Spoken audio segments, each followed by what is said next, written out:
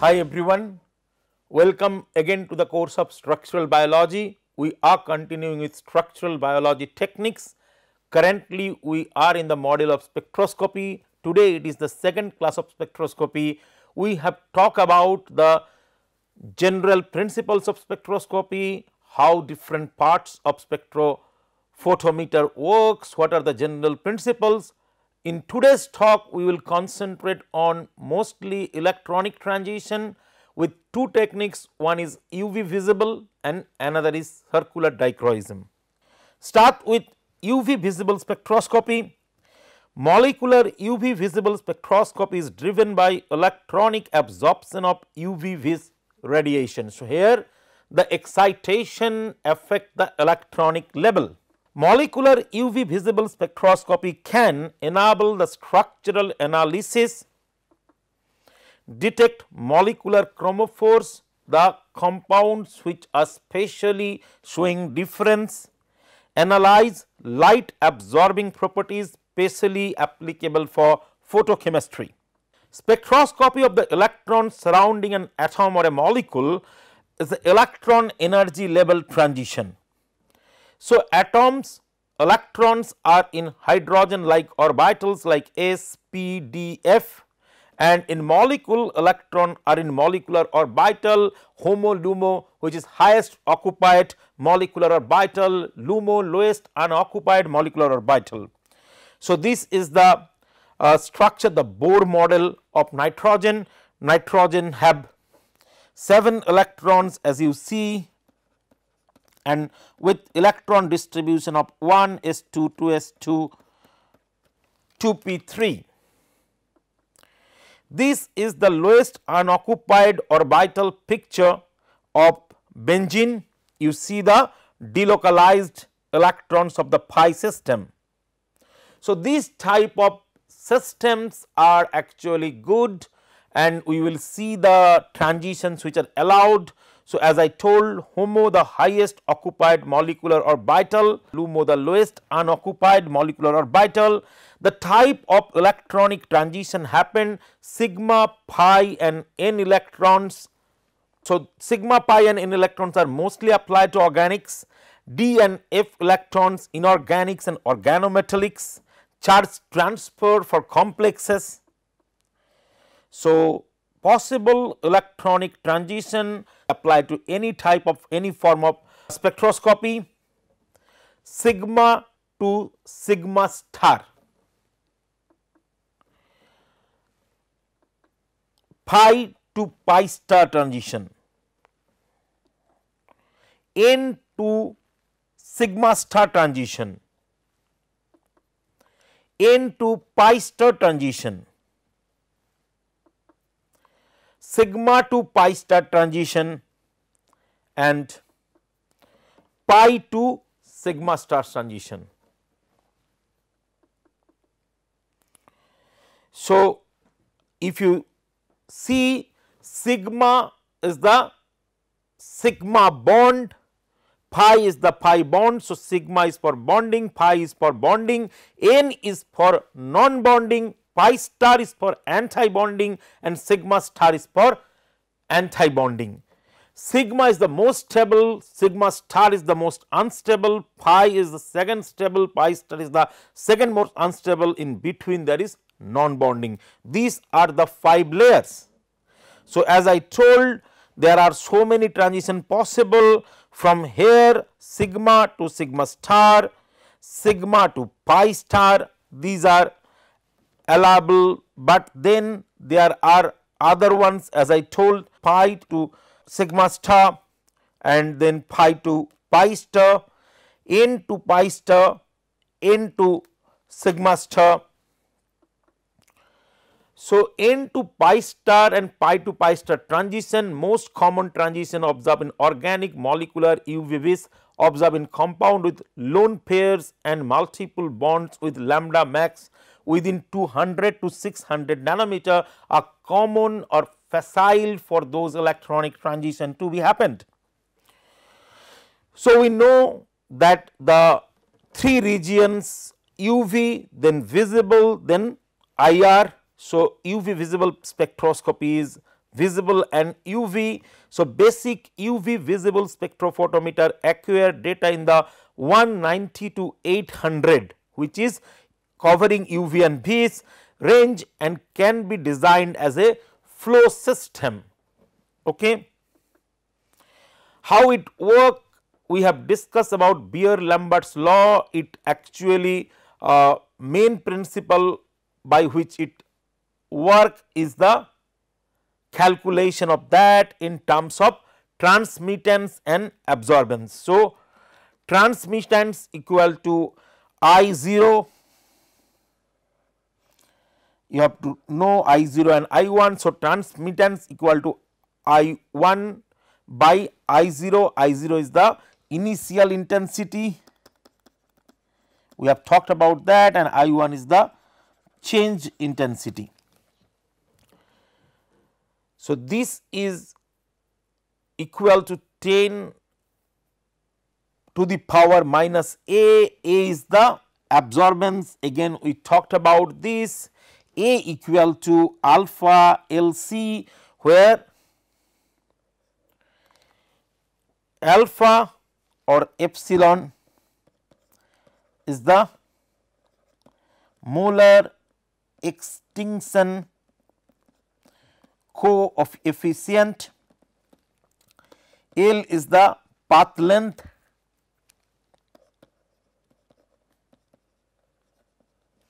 And C is the concentration. So, this is the sample the cuvette its width is the path length L the concentration of the sample which you are putting here and using that we could have calculate all the possible parameters alpha epsilon equal to 4 pi k by lambda. So, the chromophores in protein one the peptidic bond uh, it could be the peptide bond is the amide bond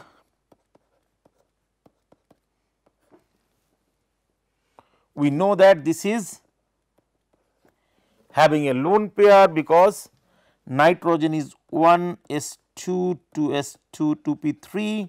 So, if you look at there is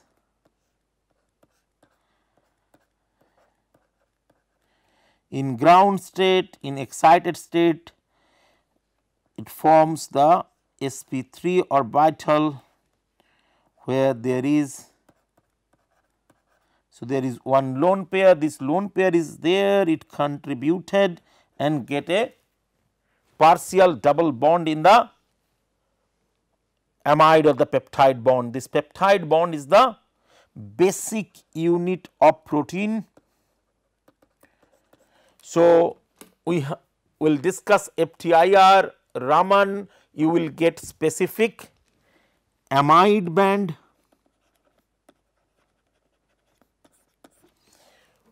UV it is also sensible. We will talk about at giving characteristic spectra at 280 nanometer. Aromatic amino acid gives spectra at 260 to 300 nanometer and then there are attached probes which are varies according to their property, according to their binding and all these things. There are probes used for colorimetric analysis. Uh, when I, I say colorimetric analysis, then let us say you have an enzyme and the enzyme could break a bond. If there is a compound which produce color when the bond breaks this is used for colorimetric analysis as a probe. Then there is UV active assays like there are some probes which are having changes like again a substrate having AB bond and the AB bond breaks and this is UV inactive this is active or there is any spectral shift. These type of compounds are used as UV active or differentiative probe. An example we generally use is nitrocefin. Nitrocefin is a compound which change color, which change color when it is attacked by the enzyme called beta lactamase. Pale yellow color change to bright red. So, these could be used as a colorimetric probe in the visible range. So, these type of things are important in study using UV visible spectroscopy. For protein, a quick but less specific measure of protein concentration is the absorbance of the sample at 280 nanometer as I was talking about at 280 nanometer around the protein have a peak and then they have other peaks for aromatic amino acids phenylalanine, tryptophan and tyrosine. Most protein have an absorbance maxima at 280 nanometer as opposed to nucleic acid at 260 nanometer. This property is utilized for quick determination of concentration of a protein when we are working in the laboratory. Aromatic residues such as tryptophan, tyrosine, phenylalanine are responsible for the observed absorbance thus protein lacking these residues cannot be measured using this assay. Although nucleic acid contamination can interfere with measuring protein concentration at 280 nanometer, a more accurate measure can be taken by measuring the absorbance of the sample at both 260 and 280 nanometer and using the following calculation. So, protein concentration equal to 1.55. So, this should be here absorbance as 280 minus 0.76 into absorbance at 260. So, this is factor A minus factor B it is a very accurate calculation that is usually used in laboratory condition. I will not talk a lot about, but one thing I have to say here one of the very good application of spectroscopy is enzyme kinetics. I was talking about the visible color based probes and UV based probes in the reaction as I told where there is a change directly the enzyme reacts and change the spectral property. They are called direct probes, but there are indirect probes where you have one enzyme of interest, it makes a change to compound A which is not suppose it change ATP to ADP this is not colorimetric, but this ADP is changing or taking part in a reaction with enzyme B which is making a color. Then this is used as a secondary enzyme in the assay and this is called indirect probe. How the enzyme catalysis is measured so, the change of spectra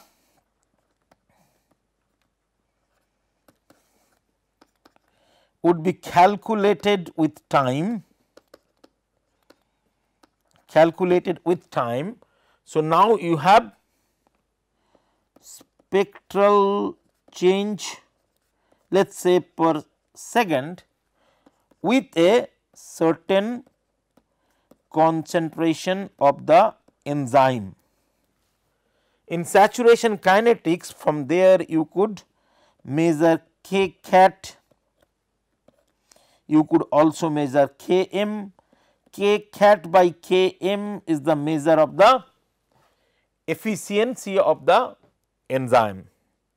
You could also assay the inhibitors measuring K i, you could measure the effect of specially reversible inhibitors by different type of assays like competitive, non-competitive and uncompetitive assays.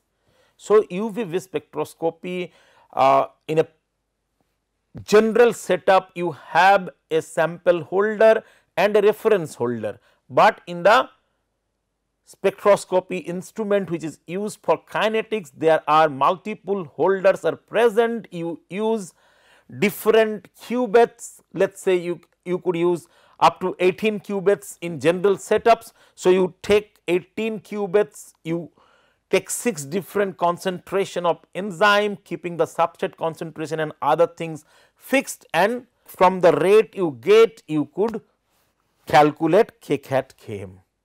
Also if you want to inhibit you could calculate Ki. In that way UV visible spectroscopy is playing a major role in enzyme kinetics, in small molecule kinetics, photochemistry and many other things. Coming to the technique circular dichroism, to introduce circular dichroism, circular dichroism is a type of absorption spectroscopy that can provide information on the structure of many type of biological macromolecules.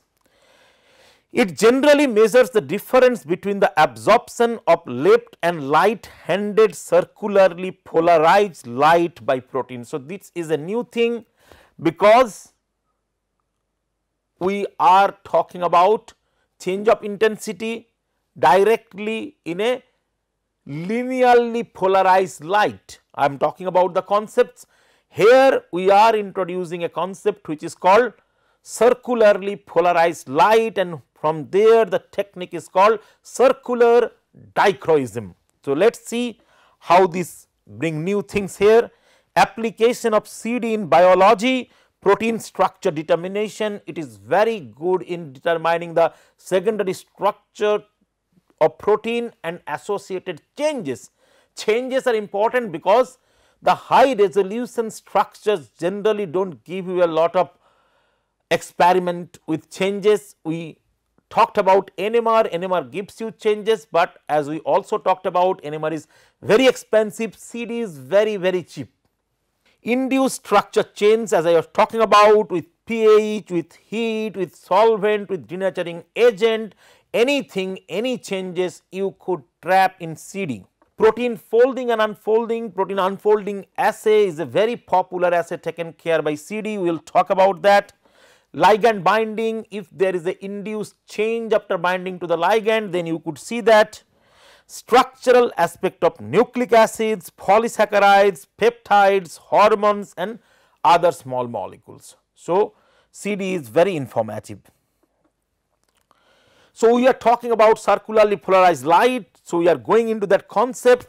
Let us start with unpolarized radiation. Light or other electromagnetic radiation from many sources such as sun, flames and incandescent lamp consist of short wave trends with an equal mixture of polarization. So, they have light in going in all different you know directions this is called unpolarized light. Oscillation which takes place in transverse wave in many different direction is said to be unpolarized. Now, if the oscillation does take place in only one direction, then the wave is said to be linearly polarized or plane polarized in that direction. What happened? the wave is coming if you see this is the wave it is coming and it is oscillating in one direction. So, traveling in one direction because wave would be coming in a wavy way right. So, it goes in that way if you see you, you would get like this.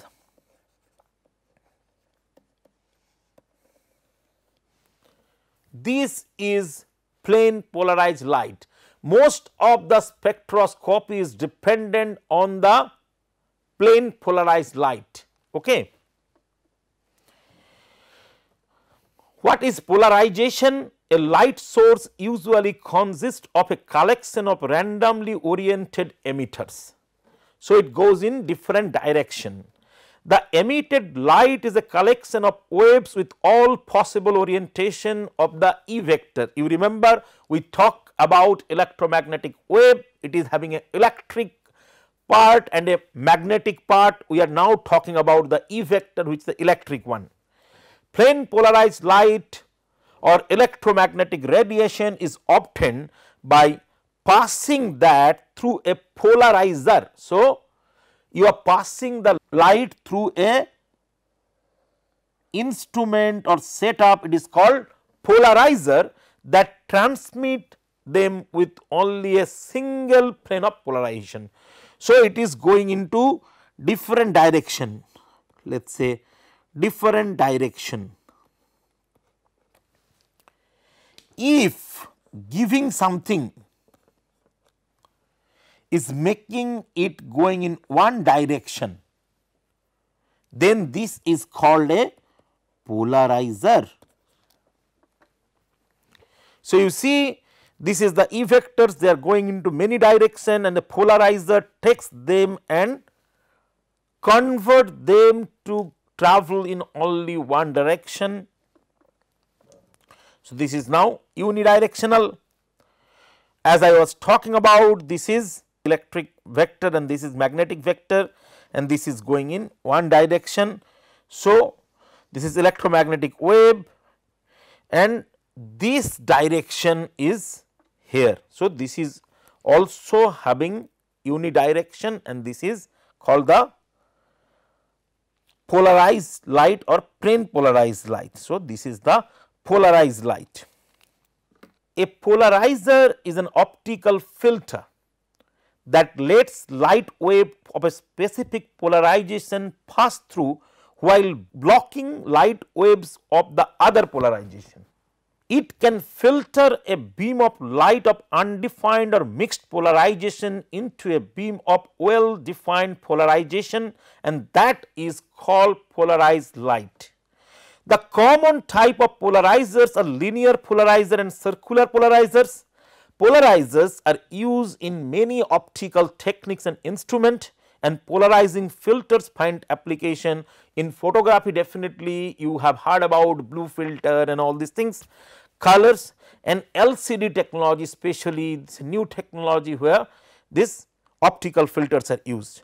Polarizer can also be made of other type of electromagnetic wave beside the visible wave which we are talking about microwave, radio wave, x-rays and all these things.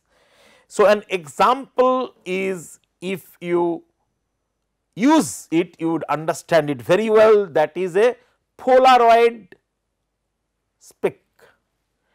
When you have a Polaroid spec if you see here there are different directional beam coming right here light wave vibrating parallel to the highway. So, this is one light wave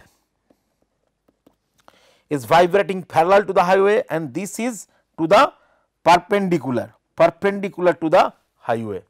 So, there are two type when you have this spec it block this one and it allow this one it make this one plane polarized this is called polarizer. Any electromagnetic wave consists of an electric field component and magnetic field component.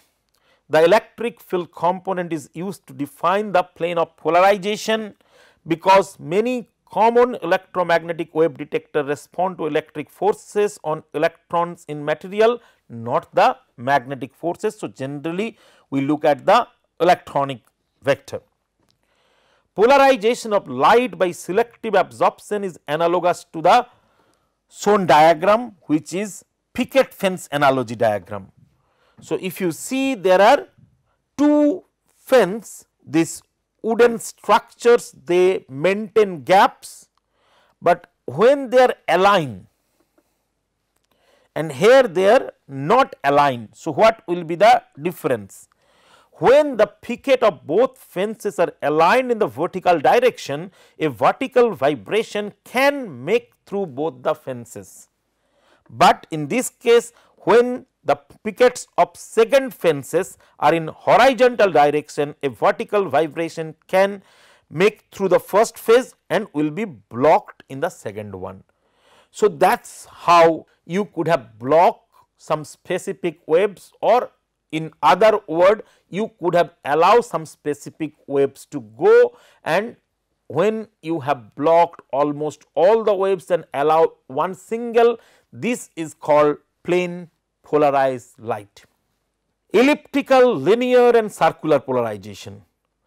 As I talked about different type of polarization in electrodynamics the elliptical polarization is the polarization of the electromagnetic radiation such that the tip of the electric field vector describes an ellipse in any fixed plane intersecting and normal to the direction of the propagation. So, it is propagating it form a elliptical development.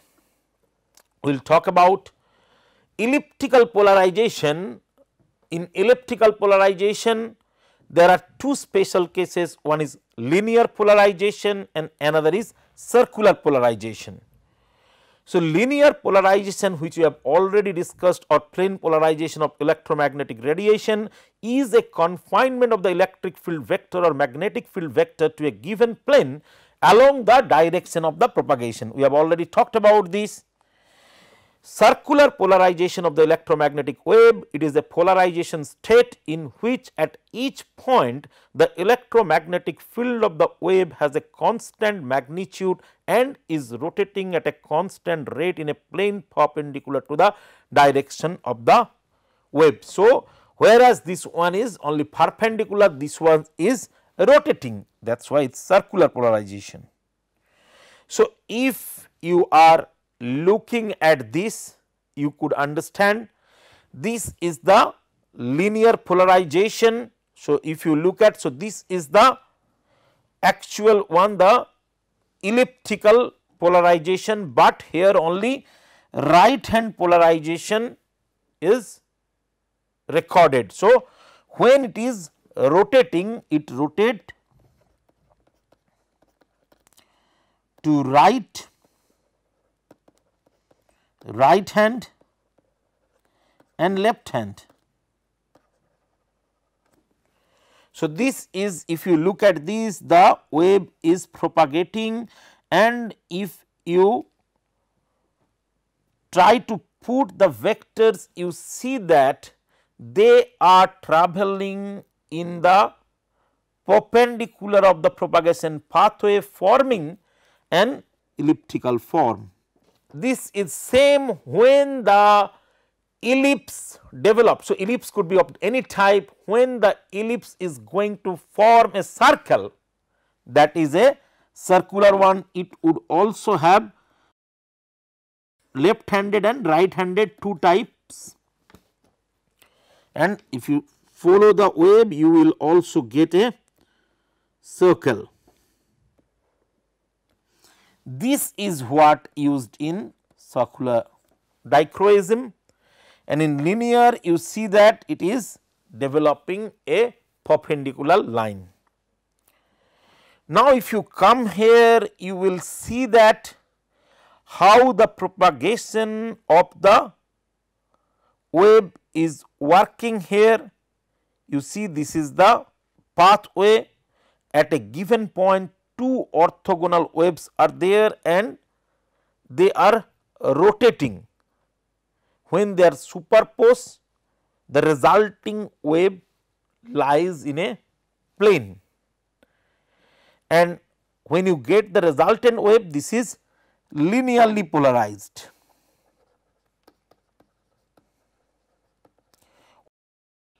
When instead of being there it rotate you get circular or circularly polarized. So, rotation here you see the rotation in electrodynamics the strength and direction of an electric field is defined by its electric field vector we have talked earlier. In the case of circularly polarized wave the tip of the electric field vector at a given point in space relates to the phase of the light as it travels through time and space. At any instant of time the electric field vector to the wave indicates a point on a helix oriented along the direction of the propagation. If you see here it shows the shape development of a helix.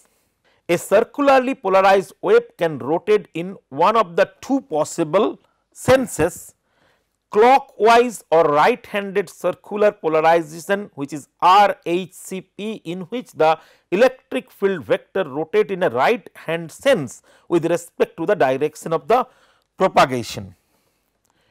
Counterclockwise in the other one this is left handed circular polarization or LHCP in which the vector rotates in a left handed sense.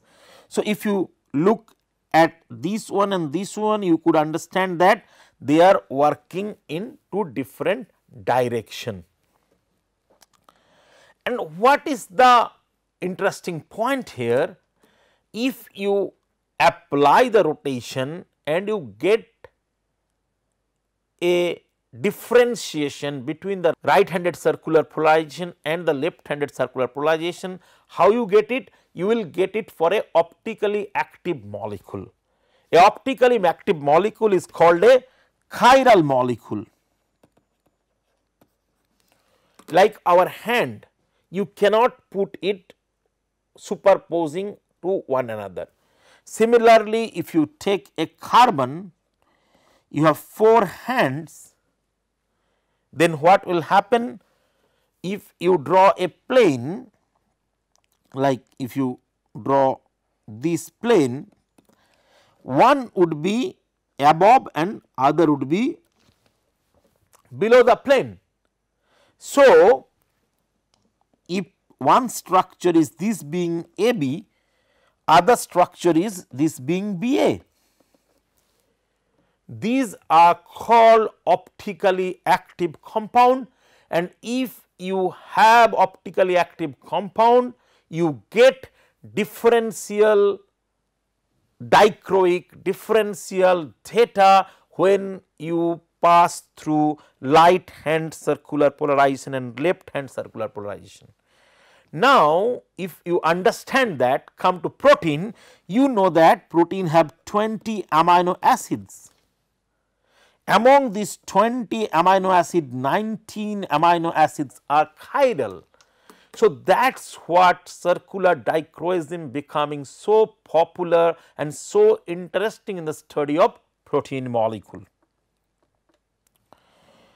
So, the plane polarized light is obtained by passing light through a polarizer. As we talked about polarizer earlier that transmit light with only a single plane of polarization it passes only those components of the E vector that are parallel to the axis. This is the propagation only the polarizer on the parallel axis so that perpendicular to the propagation direction. Circular polarized light the E vector of two electromagnetic wave are one 4 wavelength out of phase and are perpendicular the vector that is the sum of the E vector of the two component rotates so that its tip follows a helical path. You will see that in the dotted line and coming to the linearly and circularly polarized light comparison. For the linearly polarized light, the electric vector direction constant magnitude varies. So, you could see this is where I was talking about see this is reducing here and also here this is reducing, but they are in the same line. Circularly polarized light the electric vector direction varies magnitude constant. So, here you see this is rotating around So, the electric vector direction varies the magnitude is constant. So, it is in two form left and right handed. You see this is right hand, this is left handed rotations. So, as I discussed now the circular dichroism instrument the CD measures the difference between the absorption of left and right handed circularly polarized light. So, this is the dichroism which it measures you see there is a right and left handed circularly polarized light. This is the photon beam when you put the optically active compound you get the CD signal where the preferential absorption of the right hand polarization over left hand polarization which could be different also. One of the problem with this technique is this is measured as a function of wavelength and the difference of the wavelength between left and right is always very small 1 by 10,000 of the total after passing through the sample, the left and right beams have different amplitudes. Also, the combination of the two unequal beams give elliptical polarized light, which we talked about. Hence, CD measures the ellipticity of the transmitted light, the light that remain and not absorbed.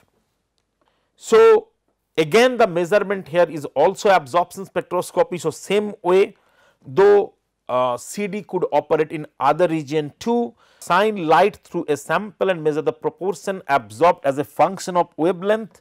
Absorbance we have already talked many time equal to log I 0 by I or I 1.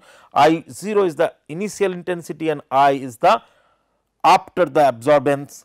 So, the Beer Lambert law is applicable here A equal to epsilon or alpha L C E equal to extinction coefficient absorbance is directly proportional to concentration C of absorbing species in the sample and path length of the light L through the sample. The longer the path or more concentrated the sample the higher the absorbance. So, it is the same principle we are talking about in UV it is also used here. CD measures the difference between the absorption of left and right handed circularly polarized light so, del A which is a function of lambda equal to A r minus A L which equal to epsilon r minus epsilon L L C or you could also say del epsilon L C. Del epsilon is the difference in the extinction coefficient typically less than 10 per molar per centimeter Typically epsilon is around 20,000 per mole per centimeter. The CD signal as we have discussed earlier also is a very small difference between two large originals.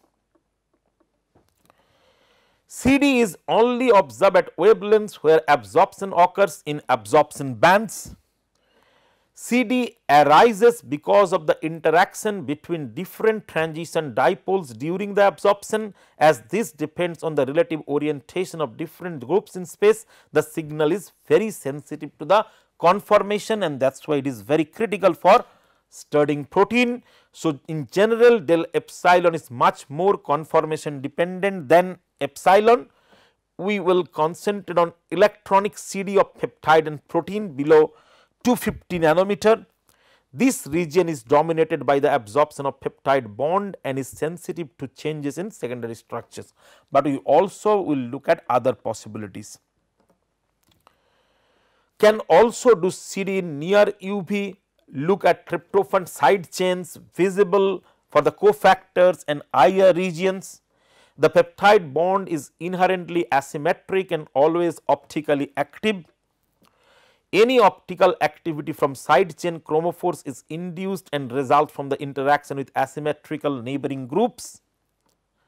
So, this is the amide bond as we told this amide this is one of the reason of CD being so successful. Coming to some examples, CD signal is small difference between two large originals as we talk about.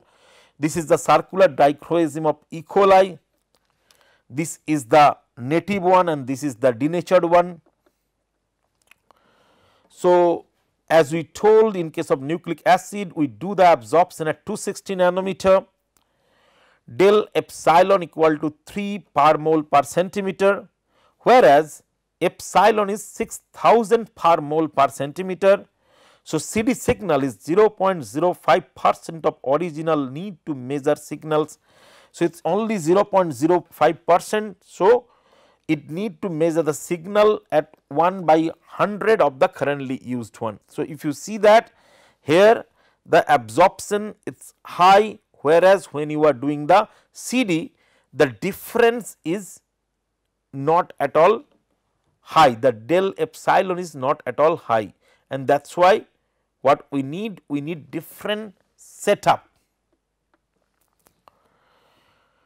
There are different types of CD circular dichroism as I talked about is an absorption spectroscopy method based on the differential absorption of left and right circularly polarized light.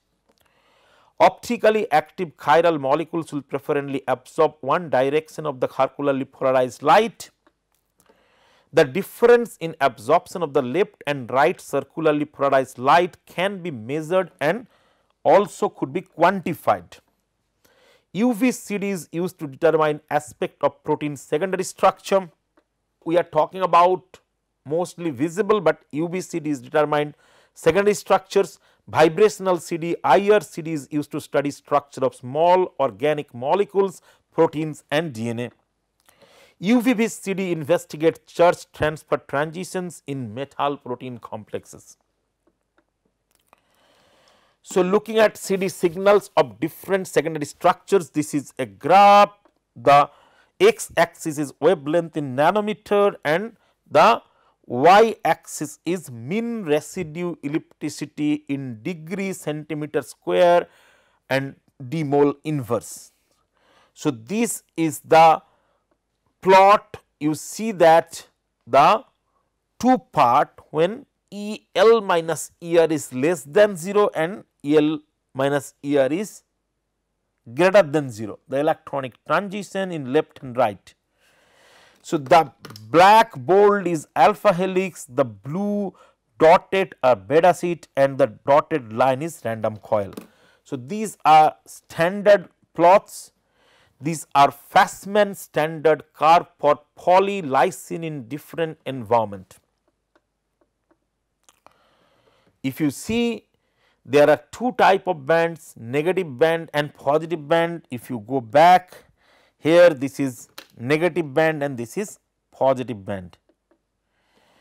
So, bands are in nanometer for alpha helix 222 208 negative band 192 is positive band. For beta sheet 216 is negative band 195 is positive band. For beta turn 220 to 230 is the negative band and 180 so that is weak. 180 to 190 is strong and positive band is at 205 for polypro uh, 2 helix a special type of uh, polyproline type helix 190 negative band 210 to 230 weak positive band. For random coil a negative band at 200 so these are fingerprints these are characteristic bands for different secondary structures. Based on those peaks, we could do a lot of experiment. For example, we know that for alpha helix we have negative band at 222 and 208 and positive band at 192. So, let us say this positive band is here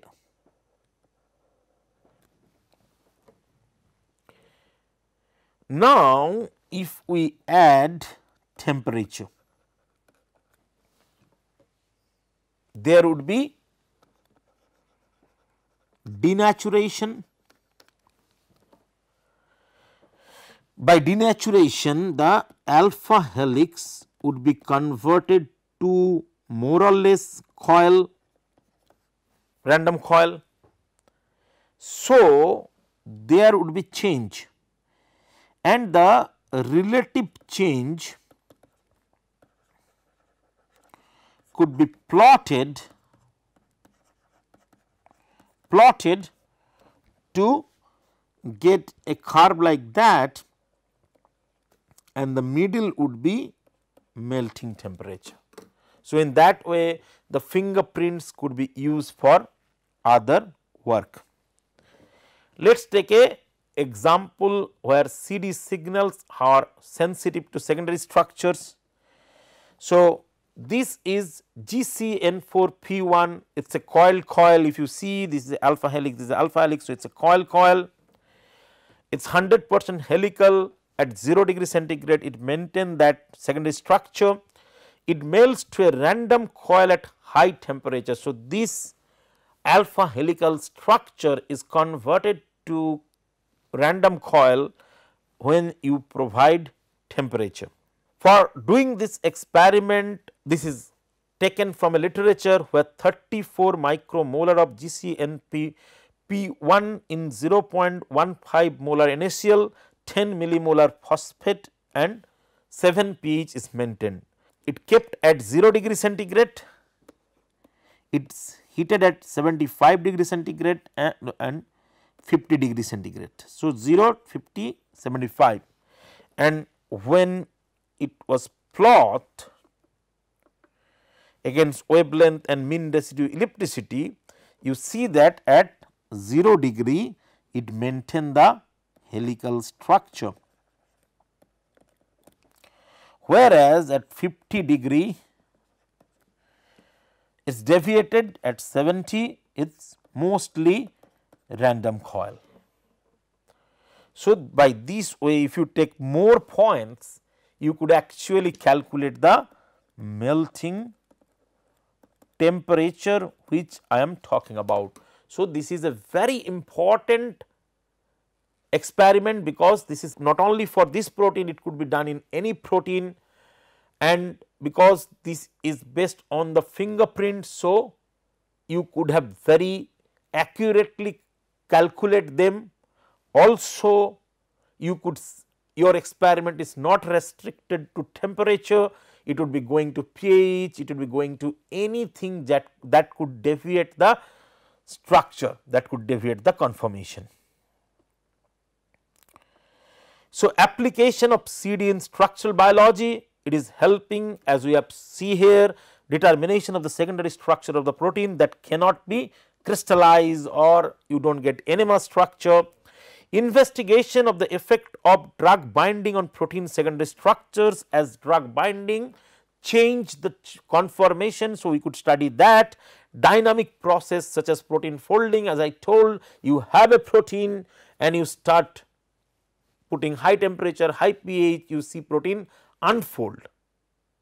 Similarly, you have a unfolded protein and you are kind of removing the condition which is causing the unfolding then it would start folding and you will get to see the change in the conformation. Studies of the effect of environment of protein structure, secondary structure, super secondary structure of membrane proteins, study of ligand induced conformational change of the protein, carbohydrate, carbohydrate having very I would say different and unpredicted conformations, but is there a change in conformation?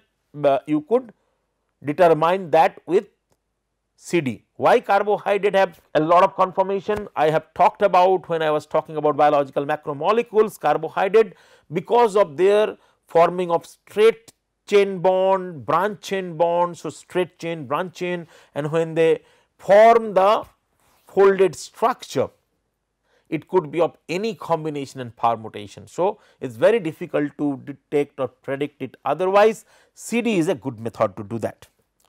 Investigation of protein, protein and protein nucleic acid interaction, interaction makes changes especially when macromolecules are interacting they make changes in the conformation that change is reflected on the CD structure.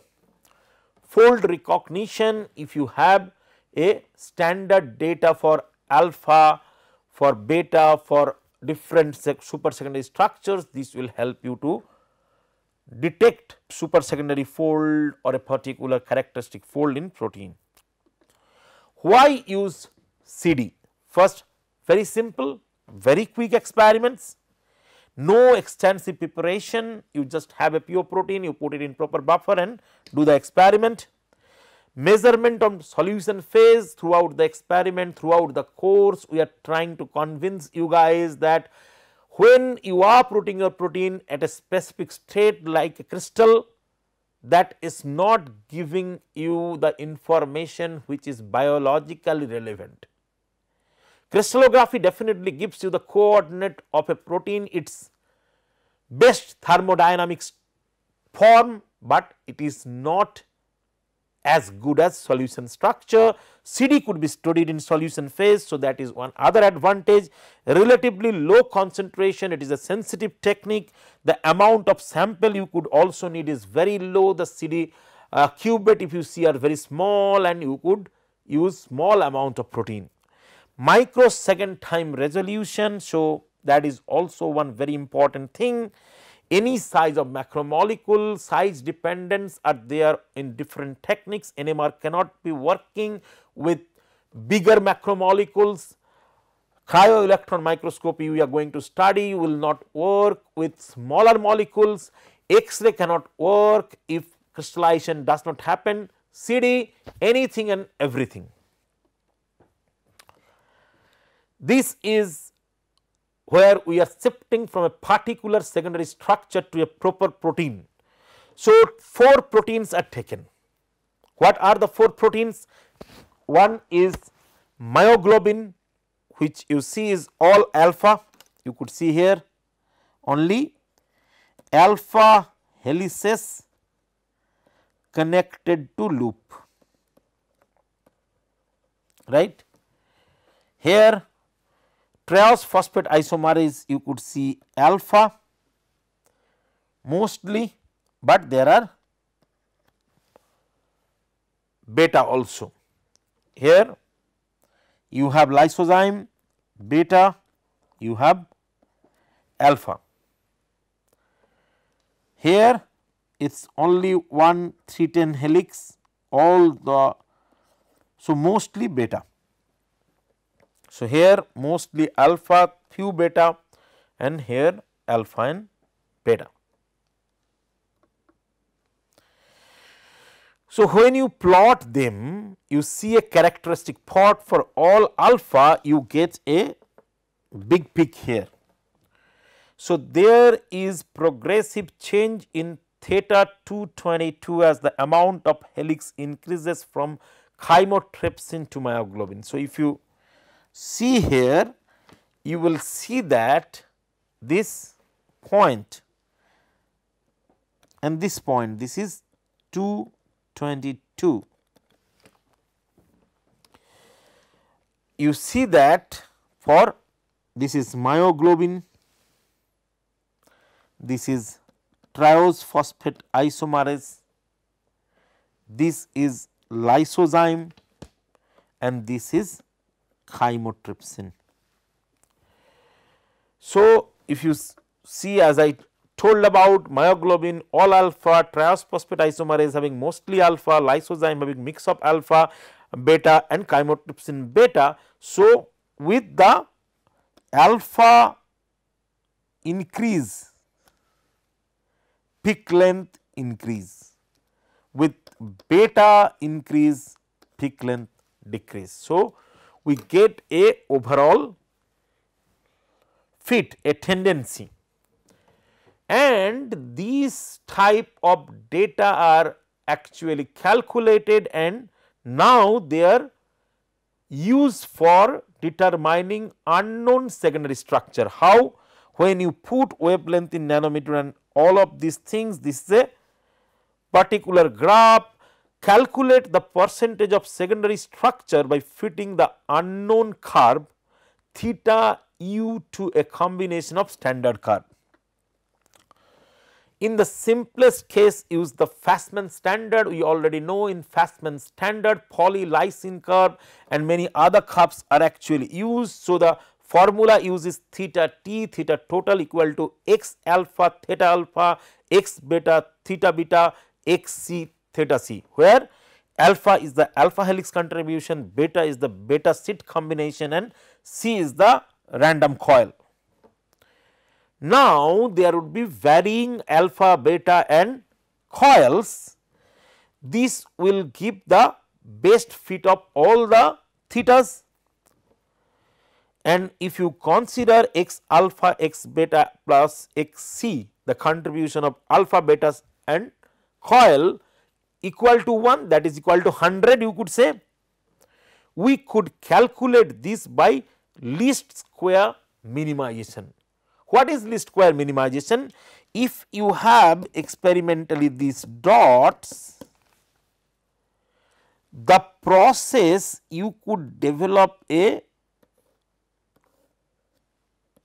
curve which will fit the maximum is called least square minimization.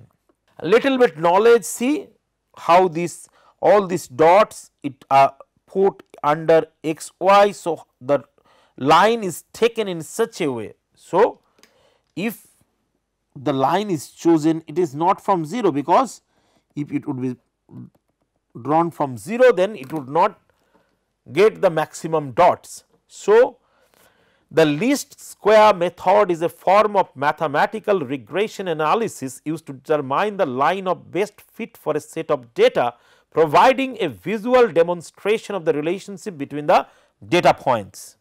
Each point of data represents the relationship between a known independent variable and an unknown dependable variable.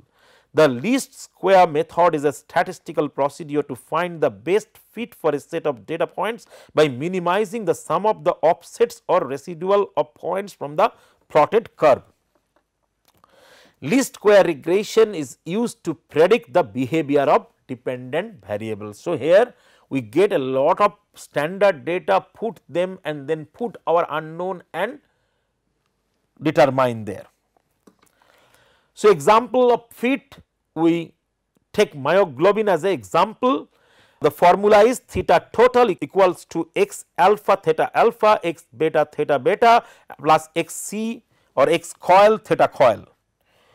The fit gives us idea like the fit gives the best point where x alpha equal to 80, x beta equal to 0 and x coil equal to 20. So, from the linear regression calculation this was found and this is myoglobin you see most of the part are alpha. So, the determination is not bad and there are coils too. So, let us see what is the actual prediction from the high resolution structure it agrees well with the secondary structure calculation from high resolution structure 78 percent helix and 22 percent coil. So, this x alpha 80 is very close to 78 and 22 is also close to x coil and there is no beta sheet. But, so this is perfect this is ideal condition but the CD signal depends somewhat on environment we will discuss that point. We can see this by looking at the effect of trifluoroethanol TFE on a coil coil similar to GCN4P1. So, we have taken these and other structures. TFE trifluoroethanol induces helicity in all peptides. So, if you take any peptide and uh, you introduce 50 percent TFE, you see TFE is making a change from this peptide to that peptide it is more helical right. But so TFE induces helicity in all peptides if you see here it induces induces helicity that is correct. At the same time coil coil breaks down helical dimer to single helices. So, to make a model we take this GCN4P1 coil dimer with single coil.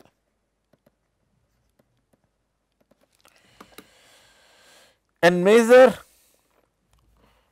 we have seen that they maintain same secondary structure. There are many different algorithms all rely on using up to 20 CD spectra protein of, of known structure. By mixing those together a fit spectra is obtained for an unknown.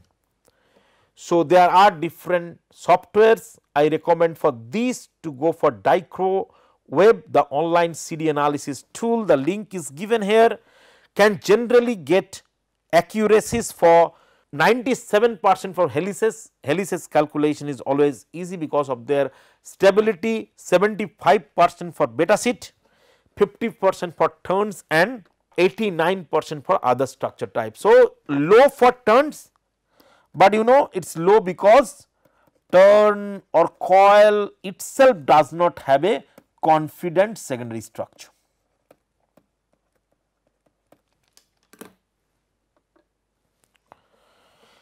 There are tools for analyzing circular dichroism data, few tools I am recommending LinComb and MLR the method of least squares, CONTIN the ridge regression procedure of Provencher and Glockner, VARSELEC the variable selection method of Johnson and co-workers, SELCON the self consistent method of Sreerama and Woody, K2D dot a neural network program of Andrade et al.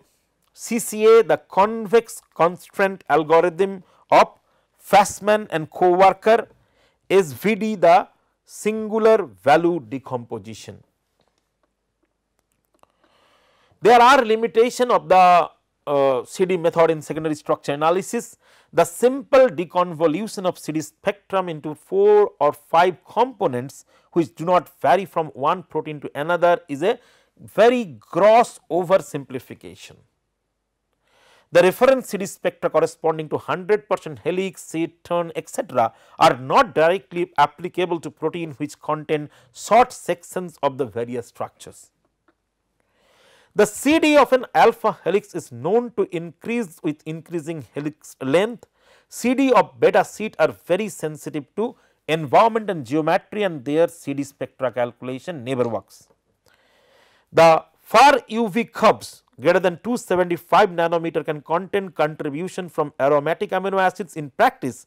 CD is measured at wavelengths below this. The shapes of far UV CD curves depend on tertiary as well as secondary structures. Some practicalities to work CD is based on measuring a very small difference between two large signals must be done carefully. The absorbance must be reasonable max between 0.5 to 1.5 quartz cell which is shown here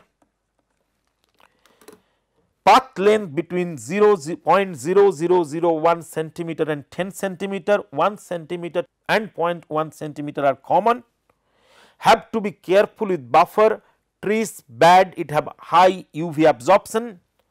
So, tris buffer you cannot use in the CD spectroscopy we generally use phosphate buffer, but you could use other buffers too. Measure cell baseline with solvent it is very critical then sample with same cell inserted same way around. Turbidity kills, uh, so filter the solutions everything has to be very very clean. For accurate secondary structure estimation must know the concentration of the sample. Some typical condition for getting good circular dichroism protein concentration 0.25 milligram per ml, cell path length 1 millimeter, volume 400 microliter, but depending on the CD cuvette need very little sample 0.1 uh, milligram concentrations are pretty reasonable. Stabilizers, metal, ions etc., should be used minimum. Buffer concentration 5 millimolar or as low as possible while maintaining protein stability. Because if you do not maintain the protein stability your experiment is not going to work, but so, protein stability is the most important thing you have to maintain the protein stability, but while you are maintaining the protein stability you should not forget that these other stabilizers have, their own CD properties. A structural biology method that can give real answers in one day. So, summarizing CD is a useful method for looking at secondary structures of proteins and peptides it is an adaptation of standard absorption spectroscopy in which the difference in the absorption between left and right hand circularly polarized light is measured. CD can be measured under a wide range of conditions. It is very good for membrane proteins. We did not discuss about membrane proteins uh, in this module, but CD is very differently applied and as membrane proteins are difficult to study. So, this is one of the very interesting part of CD. CD can be used to measure change. CD complements other more detailed techniques such as X-ray crystallography. The findings in X-ray crystallography would be very well coordinated with the CD structures. So, with this I have talked about UV absorptions, visible absorption and CD. These are techniques which have take a very important part in determining different properties of protein. As I told UV is especially important for operating or regulating reactions, enzyme assay, enzyme catalysis. CD is good because a different approach is taken here where all the spectroscopy is based on linearly polarized light here circularly polarized light and their difference is taken. So, specially for protein CD is very critical and CD experiments are really informative. With that I would finish today's talk as I told earlier keep listening to the classes and keep asking questions to us. Thank you very much.